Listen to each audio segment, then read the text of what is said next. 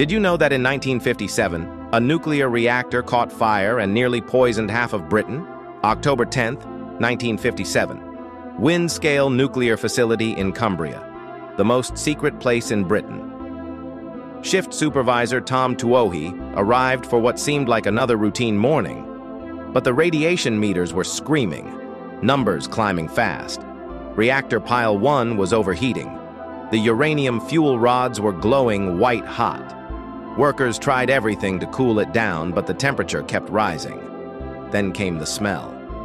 Burning metal and something much worse. The reactor core was melting. Radioactive smoke poured from the chimney stack. Tuohy made a desperate decision. He climbed to the top of the burning reactor. The radiation was lethal. His skin started burning immediately.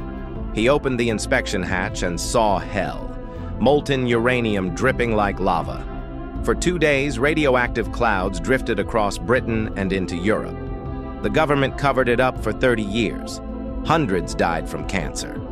Britain's first nuclear disaster remains one of the worst ever recorded.